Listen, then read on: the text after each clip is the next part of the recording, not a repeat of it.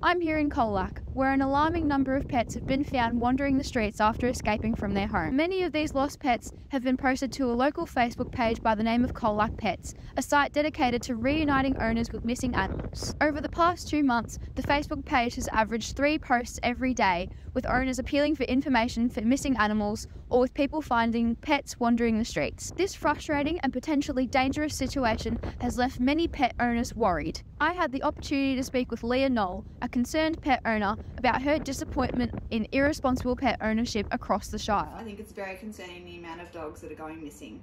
The Facebook posts regarding lost dogs seem to be becoming more and more frequent. It's really disappointing that people aren't showing as much care towards their animals as they should be.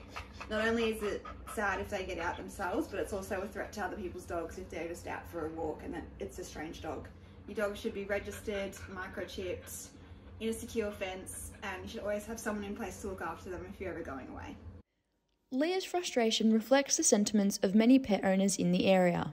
To shed some light on this issue and provide guidance, I spoke to Sahel Ali, a vet nurse at Colac's Murray Street Vet Clinic, about the increase of stray animals being brought to the clinic. Almost every week and every weekend, I've, we've had the callers saying, "Hi, I've found something. I've found an animal, cat or dog." I need to bring it in because I don't know who owns it. We always have to send them off to the Shire because we can't get in contact with whoever's involved.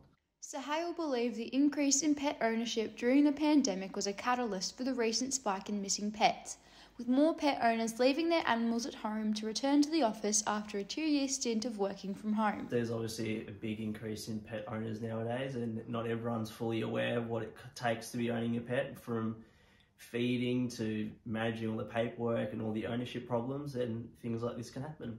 Sahale also provided some valuable tips for pet owners on how to keep their animals safe and prevent them from going missing. Making sure you have the right pet for your household, making sure you've got adequate housing for your pet and it's not easy for them to escape, making sure if your animal is microchipped, it is microchipped to your name and not the breeder's.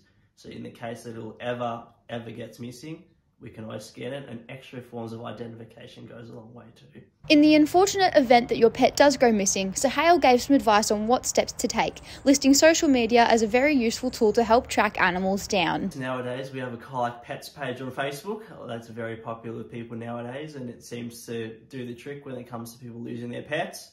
So I guess social media is a really big thing nowadays that really does help. With increased awareness and responsible actions, locals like Leah and Sahale believe the Shire's pet owners can make a positive change to better protect their beloved animals. It's a reminder for all pet owners to take responsibility and provide a secure and loving environment for their furry friends. This is Zara Cuthbertson reporting for Describe.